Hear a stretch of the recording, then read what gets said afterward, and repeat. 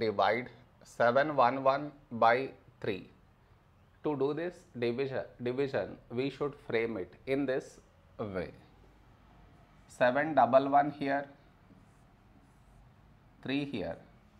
This is your step 1 next. Here we have 7 here 3 a number close to 7 in 3 table is 3 twos 6 now we should subtract. We get 1 after this bring down the beside number. So 1 down. So 11 a number close to 11 in 3 table is 3 threes 9 now we subtract.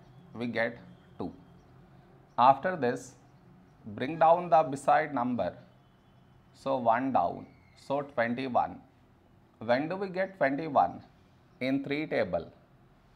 3 sevens 21 now we subtract we get 0 no more numbers to bring it down.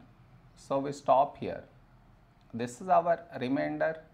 This is our quotient